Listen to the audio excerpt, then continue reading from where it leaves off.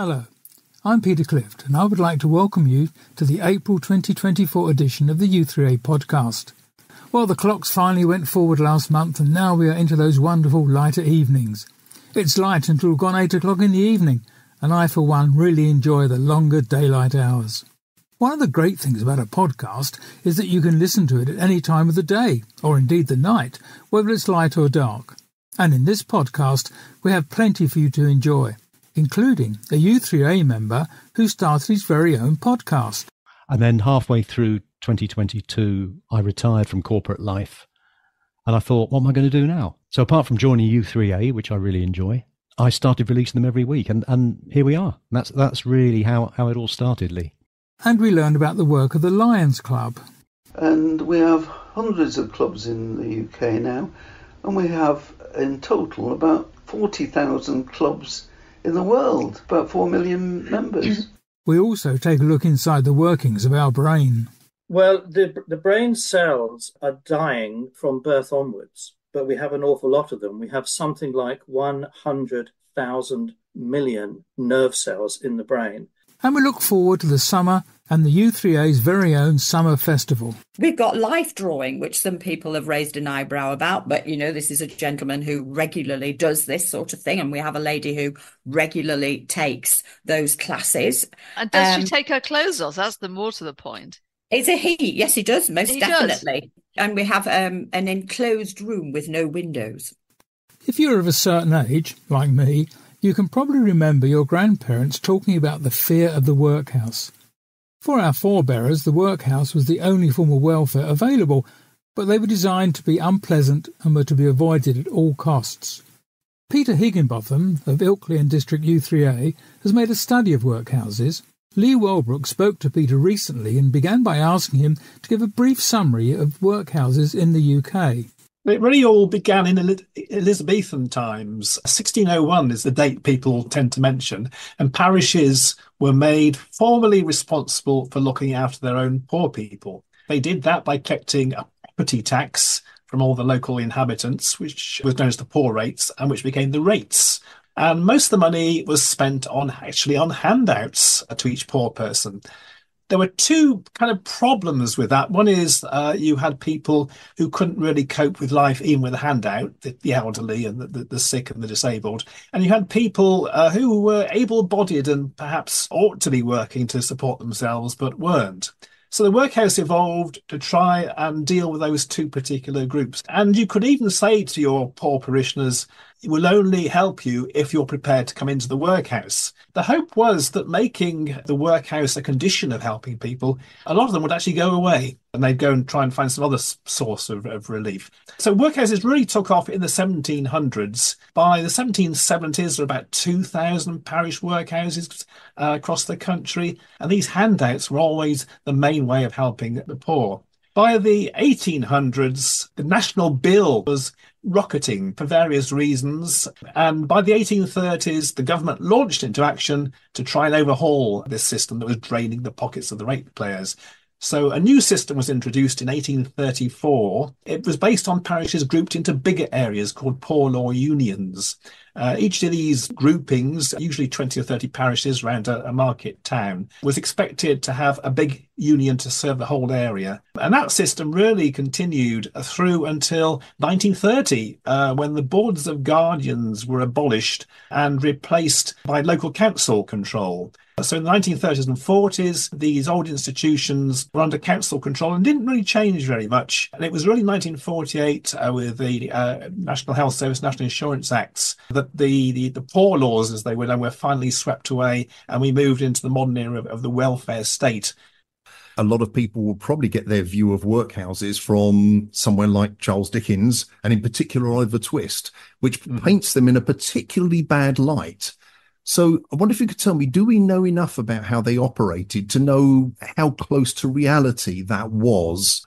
Well, we know quite a bit about life in workhouses and, and, and how they were run. From the 1830s, particularly through to the 1860s, workhouses were quite strictly run. Plain food and a very kind of rigid routine, strict conditions. And the thing that people hated most, probably, was if a family went into the workhouse, they were split up As far as Charles Dickens is concerned and, and uh, Oliver Twist, first of all, Charles Dickens was, was a novelist at that point telling a, a story. And the, the, workhouse he was describing was based, was actually a parish workhouse. It's one of the old ones. But over the years, by the 1850s and 60s, things were starting to change. Workhouses had their own infirmaries for the inmates, and those often were quite awful places, you might say. The nursing was done by elderly female inmates, um, most of whom couldn't read and write and couldn't read instructions on bottles and are actually drunk a lot of the time. There was a big improvement in workhouse medical care in the 1860s and 70s. Workhouses got new buildings and the nursing improved. Uh, paid nurses were employed. And workhouses started to open their doors to local non residents of the workhouse. So if you were poor and couldn't afford a doctor, then increasingly you could go to the workhouse infirmary and get treated. You didn't need to go into the workhouse first. And that really was the kind of, you know, the origins of the National Health Service, the way it was kind of free medical care at the point of delivery for those who needed it. But over the years, if you move forward to the 1870s, 1880s, most workhouse inmates by that stage were not sort of able-bodied layabouts. They were the elderly, the chronically sick, disabled, single mothers, abandoned children. And the workhouse kind of adjusted to deal with those people. But in 1900, there was a major overhaul of workhouse food. There never was ever a workhouse where gruel, gruel, and gruel was the only food. And workhouse inmates, as they were given extra freedom, they could come and go as, as, as they wanted. So by 1930, when the councils took over, I, I'd probably say workhouse life was probably not too dissimilar from a sort of a, a typical uh, old people's home in, in many many ways. I have a particular interest in the end of the workhouse system because where I live at the moment is an mm-hmm. old workhouse site. It has been turned into a bunch of, I must say, very nice houses and flats and such like. And I, I live in what was the administration building. I'm assuming that a lot of the workhouse infrastructure either turned into hospitals or then something else happened to it. Is, is there a, a general rule to what happened to all of this infrastructure across the country? Initially, after 1948, workhouses, uh, probably the majority at that point, became part of the NHS. But over the years, they were gradually uh, either demolished or sold off, although actually some were very fine buildings. Some of the, the architects of the day in the, in the 1830s, 40s, and 50s uh, had designed some of the buildings, and some were quite grand. Post 1948, uh, some were hung on to by hospitals used for administrative purposes rather than medical provision, and they were gradually be whittled away. Some were knocked down to make car parks, and over the years, some were sold off, and uh, quite a few, perhaps surprisingly, were turned over to sort of residential conversion, flats and, and, and houses. My website, workhouses.org uk has a little kind of entry, uh, or quite a big entry in some cases, for pretty much every workhouse there ever was. Certainly the post 1834 ones with maps and pictures, uh, and you can usually work out, you know, where the dining hall used to be and which was the male side and the female side. Even the the sort of what was called the refractory cell. In quite a few places, the workhouse is still standing, and, and people pass it by or even work there or live there without really realizing. And the old parish workhouses, too, some of those were just ordinary houses uh, rented for the purpose. Finally, Peter, I'd be interested to know how you got interested in workhouses, what led you to this, and how long you've been researching and looking into the history of workhouses. I first got interested in workhouses doing my family history, which is a, a, a, thing that gets a lot of people into, into history. Uh, I sent off for the death certificate of my great great grandfather, Timothy, and discovered he died in the Birmingham Union Workhouse. And that got me interested. I gradually realized and discovered that a lot of these buildings are still around. And if you could track down old maps, you could see exactly where they were. And even some of the maps actually had uh, identified the various sections of the building. And I began a kind of, I would say a pilgrimage, but a, a, a tracking down some of these places and going visiting them and taking pictures. So eventually, I kind of decided that all this information I was um, putting together would be very interesting to other people. So I put together this website, um, and and uh, it's become, I say, a surprisingly popular, and I've, I think I've carved myself a little niche in the market. So just to finalize, the website you said was workhouses.org.uk. And anybody going to that, there are location indexes. So if you want to look in your local area or start looking where your relatives were, then you can find your way around the country. Peter, thank you very much for your time. Thank you for having me. Peter Higginbotham from the Ilkley U3A with a fascinating history of workhouses, which are now, thankfully, consigned to history. Today we have many charities which raise money for those in need. One of the leading national fundraising charities are the Lions, who raise money for many good causes. Peter Wilgers of Knutsford U3A is a member of the Lions Club, and Val Dawson met up with Peter to find out more about the Lions Club. So, most U3 members will be familiar with the Lions organisation, but can you just briefly explain how how that organisation came apart, about? Well, it, in, started in, in America in uh, about 104 years ago, and it's grown and grown and grown throughout the world. And it only started in England after the war, the Second World War. Queen Elizabeth the Queen Mum got it going to a large degree, and we have hundreds of clubs in the UK now, and we have in total about 40,000 clubs in the world, about 4 million members. and mostly charitable work. It's all, is it? it's all really charitable yeah. work. We don't Yeah. do anything for profit. We do things for fun, and we have social occasions, but Mm. it's a lot for the local community. So you were a member for quite a few years. I've been a member for 18 years. Knutsford now, Lions, yeah. Shortly after we came to Knutsford. So coming to Knutsford U3A, you then, um, after your work, you joined them after you retired, presumably. I joined the U3A a good three or four years after I joined the Mm. Lions, and uh, principally in the U3A I deal with play reading, which I run, and creative writing, which I participate in. Then we discovered you had all these talents for writing, panto scripts and poetry as well. Did did this all start at school or? No, it. How- how did it just happen? It started via my sis, my oldest sister, who did it quite a bit. I principally learned to do verse by giving speeches when members of staff retired or transferred, and rather than just giving a boring little talk about somebody, I composed some sort of funny rhyme about them, and they all seemed to like it. so. Uh, I've continued ever since, but uh, pantomimes I've been doing for 30 odd years, and I've written uh, one or two, and I've played in an awful lot. Can you remember looking back now? When when was the first one you, you did locally? Well, it was in Eyam in Derbyshire, so that was the pantomime. And we did Robin Hood, and I was the Sheriff of Nottingham, so I like people shouting, or I like shouting at people. So can you remember the the very first show you put on in Knutsford? The first show in Knutsford was for the Lions, and uh, it was a, a little sketch which we always do every year, and it was called Wrong Pantomime. And it was called Wrong Pantomime because when everybody, anybody said the wrong words, like we need a plumber, can't afford a plumber, needed an, must get his apprentice. Okay, we'll get Aladdin. So Aladdin came on, and that's Yes. how it worked. Uh, which I, I'd done years before in Eyam, but I reconstructed it for the Lions, and it was good fun, and it's Yeah. developed. We've done all sorts ever since. That's amazing how how it's developed as well, isn't it? Yeah. Well, it is. I, don't- I haven't done everyone in those 18 mm. years. A couple of occasions I wasn't able to for personal reasons. Mm. So it's it's more than just it's not quite panto, is it? It is Not now panto, a, a just a s- variety show, Just- isn't it? The, the whole show is a variety show, and the sketch has always been the last item. And it's where the lions actually do things themselves. The other parts of the show that we put on are, are effectively bought in acts, not expensively bought in acts, but the lions pay for people to come. And, and in this last year's show, for example, we had the Star Choir, and they didn't take money for themselves, but we gave them money for the charity that they support. Uh, and then we had other items in the second half, including a monologue and some songs about the weather, singing in the rain and raindrops and all those sort of things. Mm. Finished up with Somewhere Over the Rainbow.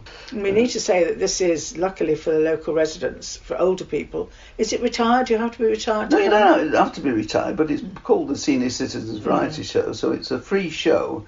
And they not only see the show, but we give them free refreshments.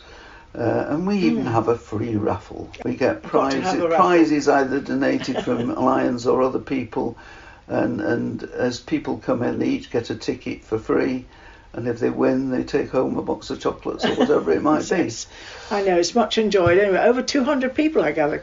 It was a good bit over 200, I think. Mm. And we're also now able to advertise through the U3A. How do you keep on thinking of ideas every year? I don't know myself. I don't really know myself, but I, I do tend to think of things. Uh, I have to, when I'm thinking of the sketch, I have to bear in mind that on stage in the sketch, there will only be the MC to begin with, and then two other people who have mics. So uh, um, we, I have to do the sketch on the basis that uh, there are two principal talkers and the others are just funny looking people who do funny look, funny sorts of things that keep people amused. The sketch only lasts about 10 minutes, a quarter of an hour, mm. but it, this year's sketch and in previous years also, we have songs in it and uh, we have a couple of good singers now who help us out. Mm. And uh, this uh, lengthens the sketch and obviously finishes this show on a high note when we have a jolly good sing song with the audience uh, of the final number. This year's uh, this year's um, final number was Oom-Pah-Pah from mm. uh, Oliver. Uh, so people can sing that and they can remember mm. the words, and so it ends the show in a nice way. Um, no doubt you have already got plans for next year. Well, I've thought. Of Is it written some... already? No, nothing's written, but I've uh, thought of. We've done, we did we did um, Charles Dickens this year. And last year we did Lewis Carroll characters, and I thought this year we'd go out out on a, a total limb. How it'll work, I don't know. But I thought we'd do Shakespeare. How right. we can make Shakespeare funny, I'm not sure, but oh, I'm sure you, I'm sure you will. I'm sure we'll try. I look forward to seeing that next year. Peter Woolgoose from the Knutsford Lions Club. Now, here's a simple test. It has been described as the most complex object in the universe, and it's certainly one of the most mysterious organs. Do you know what it is? Yes, it's the brain. Did you know that the human brain is faster and more powerful than a supercomputer, and its storage capacity is considered virtually unlimited? Our brains are an amazing control centre that is responsible for everything we do, think, feel, and say. Bob Pullen is a retired university lecturer and U3A member who has a doctoral degree in neuroscience from Oxford University. He has spent many years giving lectures on the human brain to medical, pharmacy, and biology students. More recently, Bob has delivered a series of talks on the human brain for the U3A national online events, with the final talk scheduled for release in April. Susie Hodges caught up with Bob and began by asking him to share with us some of the most amazing facts about our brains. Okay, well, let's start at the beginning. When, when the brain develops in the fetus during pregnancy, the cells of the brain are mainly nerve cells, sometimes called neurons. And during pregnancy is when the brain develops. And the nerve cells divide at the astonishing rate of about 1 million new nerve cells every five minutes. And this continues on for the first trimester, which is about three months. And then at the end of the three months, which is actually before birth, the brain cells stop dividing and they never divide again for the rest of life. It's, it's, it's peculiar that the brain cells never divide for the rest of life because every other tissue that exists in the body, the cells do divide during life.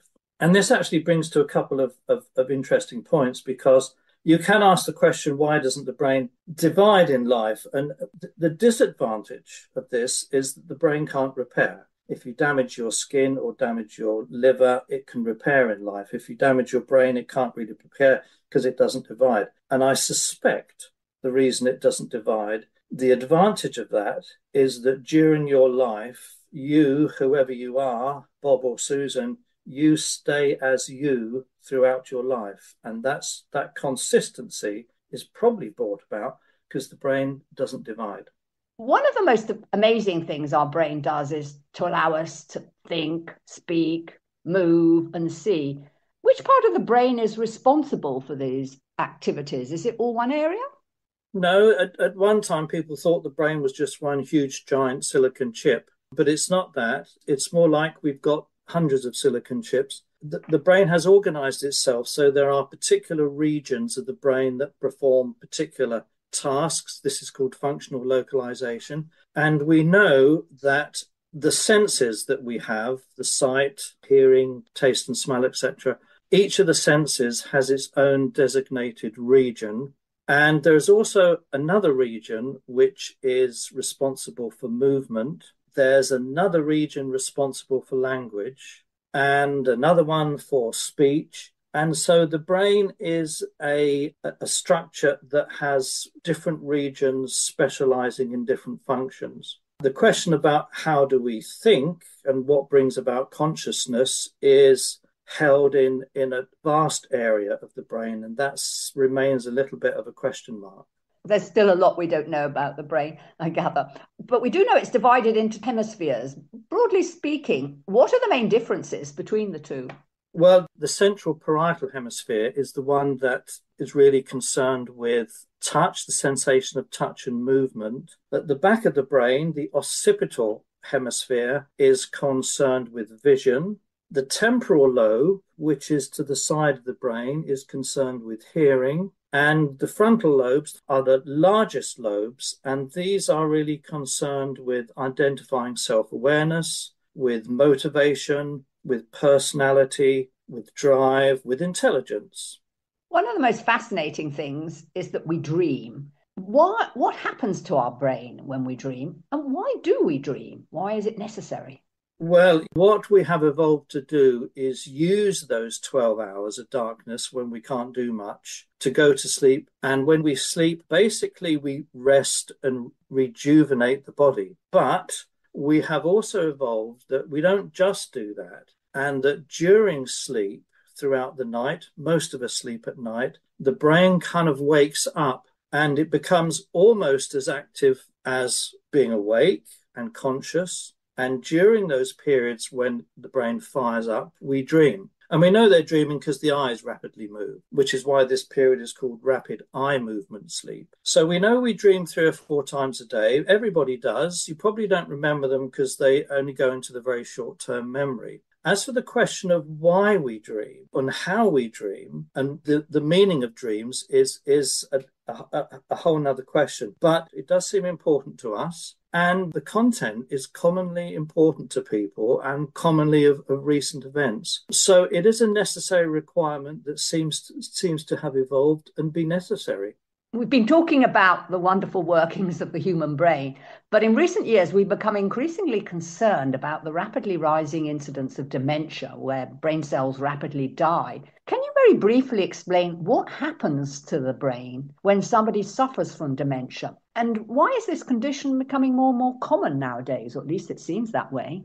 Well, the, the brain cells are dying from birth onwards, but we have an awful lot of them. We have something like 100 thousand million nerve cells in the brain. And they do die from birth onwards. And as I said, the brain cells can't divide, so they can't repair. So, in everybody, even in healthy people, your brain and mine is slowly losing cells as we go through life. But what happens in some circumstances is the rate of decline is accelerated. In some people, the decline can be so fast that you start to lose serious functions of the brain, say from 40 onwards, is possible. And basically, what happens is the, the regions of the brain that degenerate can't replace. The function that those cells performed is lost and commonly, we see a pattern where the most vulnerable areas are memory. So, short term memory goes first, and then long term memory goes, and then the ability for higher functions of recognition, knowing where we are, knowing who we are, recognizing relatives, and so on. And because it's an age related thing, there seems to be more dementia around because populations are aging.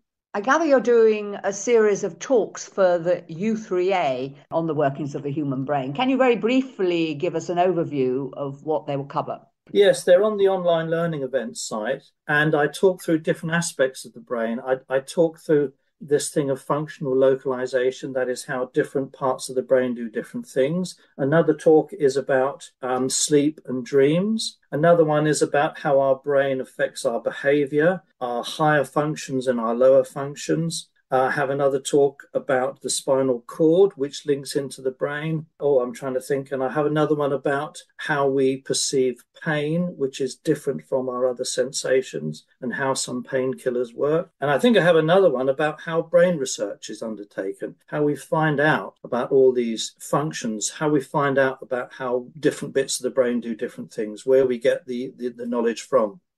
Bob Pullen with some remarkable facts about the brain. And if you would like to hear more about the brain, then do join Bob's final U3A talk. Details are available on the U3A website on the events page. Talking of U3A events, from July the 18th to the 20th, many members will be heading to York for the inaugural U3A festival. With a great variety of activities on offer, it's already proving very popular. Joanne Watson has been finding out from Margaret Fiddes, the trustee for Yorkshire and Humber, the reasons behind this venture. The basic idea is to distill everything that the U3A does on a day to day basis and put it into a three day festival in a lovely location. So we asked all of our members what they would like to bring to the table. And to be honest, we were overwhelmed. When they first started to flood into the inbox, there was every conceivable kind of activity under the sun and very competent leaders who wanted to take a session. I mean, it ranges from philosophy to yoga and hypnotherapy to ukuleles, of course, because there have to be ukuleles, and many things that you would never have dreamt of. So we've got a history program, we've got a literature program, a music program, a sports program. And I, I, could sit here for 15 minutes and bore you to tears with all the variety of lovely activities that are going to be taking place.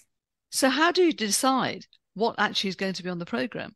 That actually was the most difficult thing. It's a bit like, you know, Solomon sitting over the top of all of these wonderful things, thinking, well, that's a bit like that. So we only want one or two of those. So maybe we don't want another one of those. And of course, it does mean that some people will feel disappointed because so many worthy offers came along. The obvious answer is that we have to do it all over again, but preferably not in the next five minutes, please. it's a bit exhausting. So it's basically morning, nooning, and night then that you're going to have activities. The middle day is the biggest, longest program. On that day, we start at nine. We were going to start at eight thirty, but we thought that was a bit cruel. Nine, and the last activity starts at ten p.m. when people go out to look at the dark skies on the cricket pitch. Hopefully, it's not pouring down with rain, but you know we'll think of a way around it if it is. I think actually one of the problems is that I want to be doing everything at once, which is the difficulty. And of course, people will have to pick and choose. And some things will be oversubscribed because they can only be for small numbers of people due to the, the nature of the activity. And other things will be in lecture halls where many people can go to a talk or listen to music or, or for example, wander over to the sports field and, and watch the cricketers or the footballers doing their thing. So, how many people can you actually accommodate during this festival? Well, that's our main problem, really, because when we hired the space and when we initially had the conversations about the number of people we might expect, I think we were a little on the conservative side. and having had Hadrian's Wall not that long ago, only a couple of hundred people came to that. So we had rooms put aside at the university and they were only able to offer us 250 single ensuite rooms. Those went within four weeks of being advertised at the end of last year. And it very rapidly became clear the appetite for this thing was going to be much greater. So what we had to do was hunt around for other space, which is quite limited in terms of, you know, overnight accommodation we are looking at roughly on the on the Friday, which is the biggest day, and we expect day visitors as well on the Friday, roughly 700. And it will actually be the largest gathering of U3A members ever anywhere.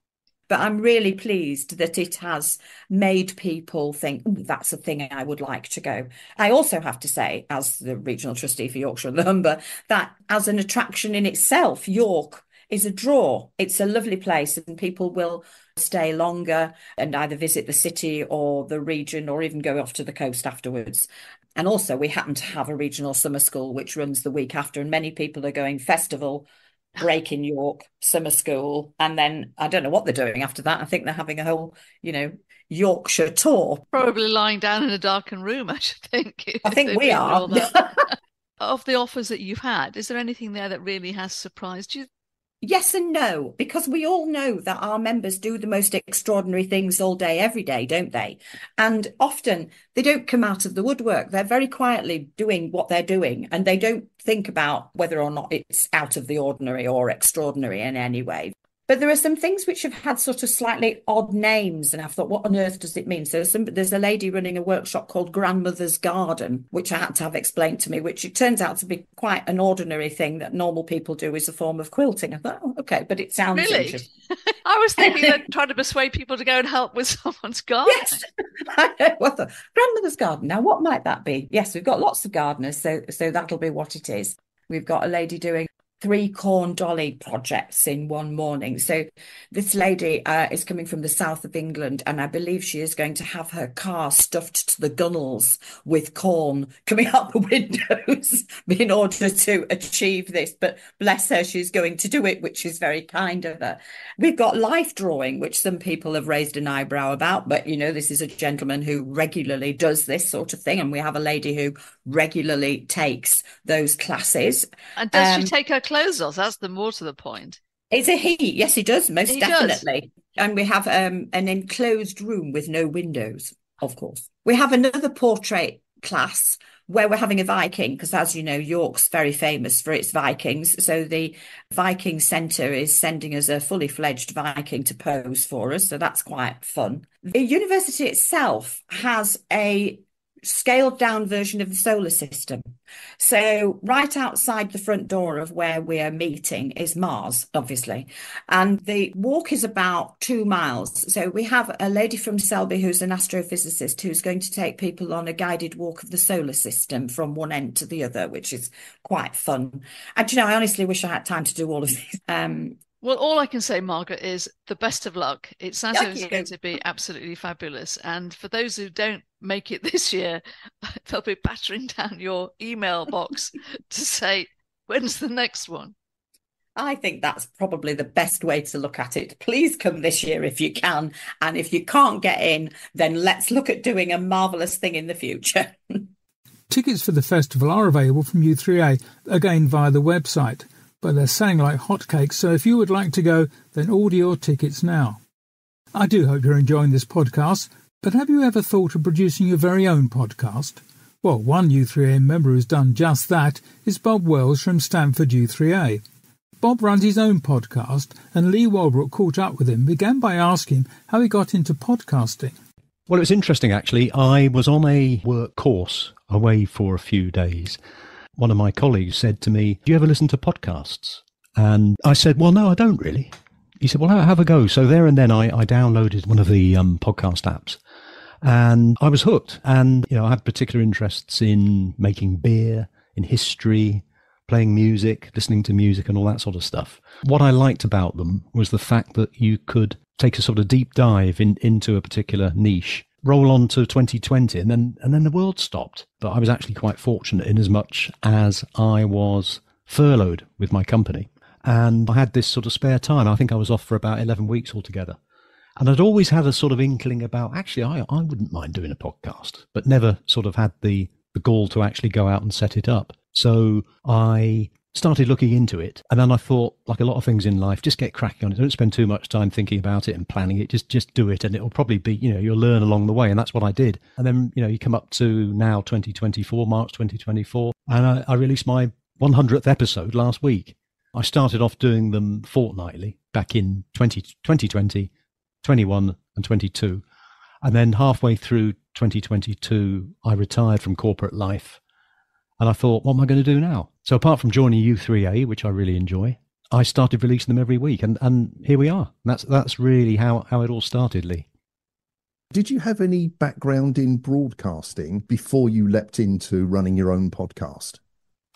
No, I didn't. I, I didn't have a background in broadcasting as such, but I have always enjoyed sort of performing to a certain extent. So I've, I've played music in bands for about 40, 45 years, and I do have quite a bit of experience presenting. And so I didn't have a particular uh, shyness for getting my voice heard.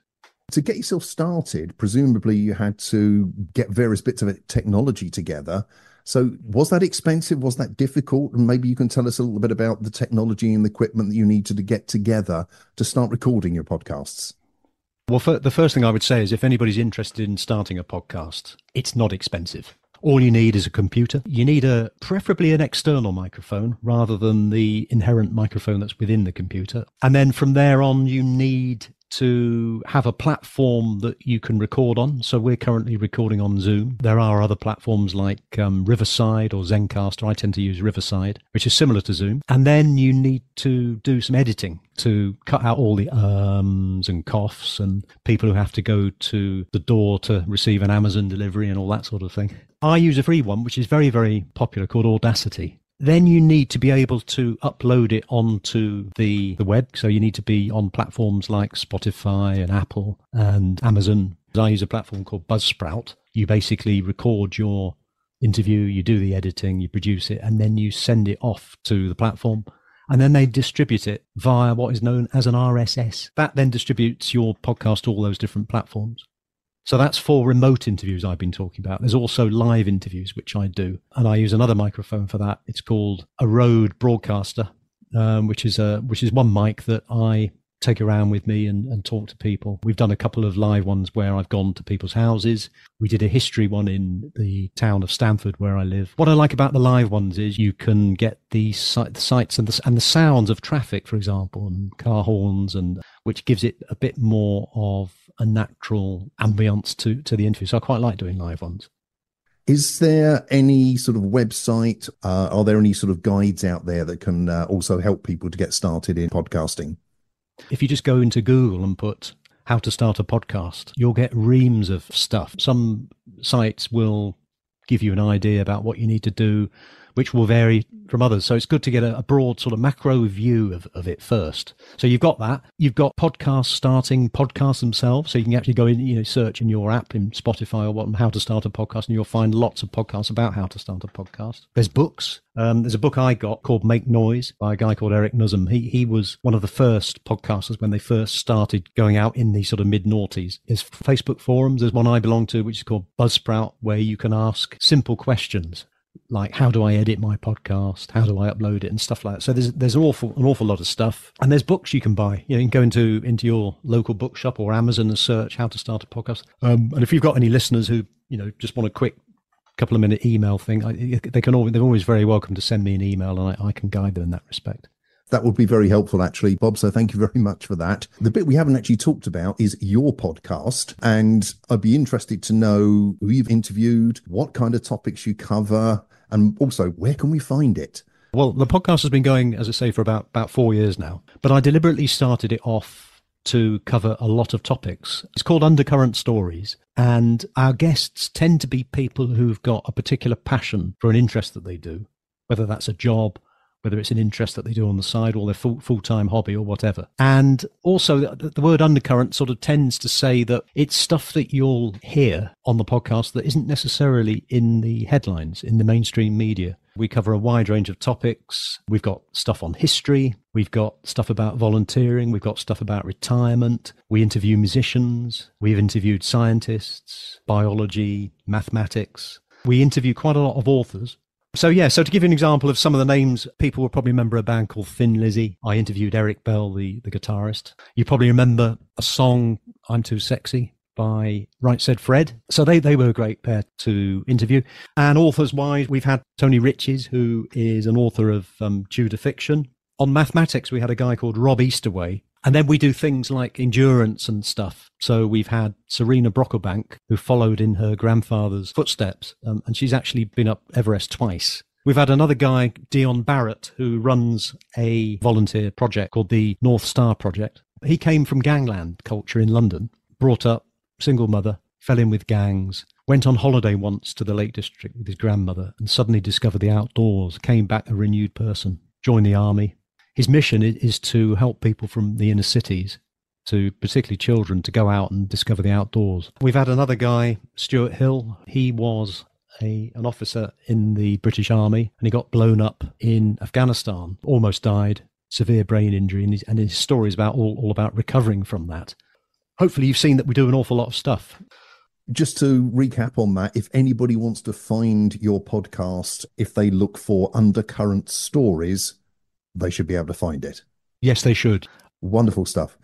Bob, thank you very much for your time. And I hope that will inspire some of our members to at least listen to your podcast and maybe actually start up their own. So thank you very much for your time. Great talking to you, Lee. Thank you. Bob Wells with his very own podcast. And the good news is that you'll be hearing more from Bob in the coming months as he is joining U3A podcast team very soon. But unfortunately, this edition of the podcast has run out of time. But thank you for listening, and remember if you have an interesting story to tell or would like to contact the U3A podcast team, don't hesitate to get in touch. And you can do that by emailing communications at u3a.org.uk. All that remains for me to do is to thank all our guests and our presenters Lee Wellbrook, Val Dawson, Susie Hodges, and Joe Watson. And studio production was by Lee Wellbrook. But on behalf of us all, this is me, Peter Cliff, saying thank you for listening, and we look forward to meeting you again next month.